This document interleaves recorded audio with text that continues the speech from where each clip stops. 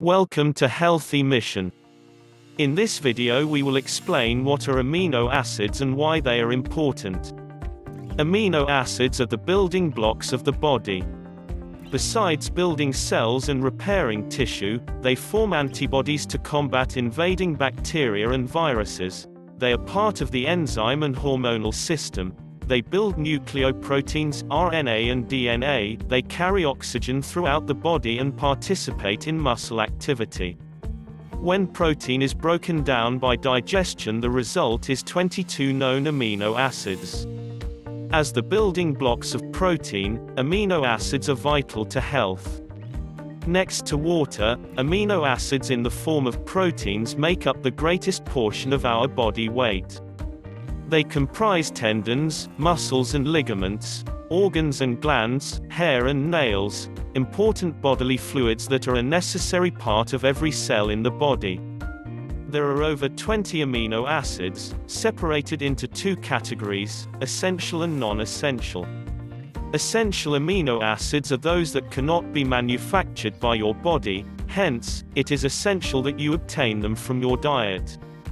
Soy and animal sources such as meat, poultry, fish, eggs and dairy products provide complete proteins. Plant-based foods lack an adequate amount of at least one amino acid, so they're incomplete proteins. Nuts, beans, peas and whole grains have more total protein than vegetables and fruits. You don't need to eat complete proteins at every meal, as long as you get the all the indispensable amino acids over the course of one day.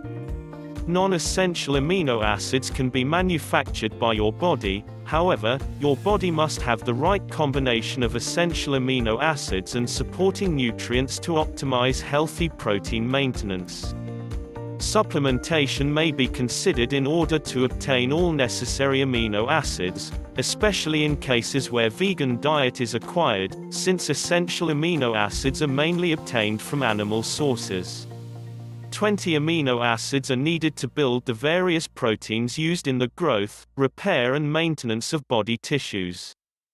11 of these amino acids can be made by the body itself, while the other 9, called essential amino acids, must come from the diet. The essential amino acids are isoleucine, leucine, lysine, methionine, phenylalanine, threonine, tryptophan and valine. Another amino acid, histidine is considered semi-essential because the body does not always require dietary sources of it. The non-essential amino acids are arginine, alanine, asparagine, aspartic acid, cysteine, glutamine, glutamic acid, glycine, proline, serine and tyrosine. Other amino acids, such as carnitine are used by the body in ways other than protein building and are often used therapeutically. Who is likely to be deficient?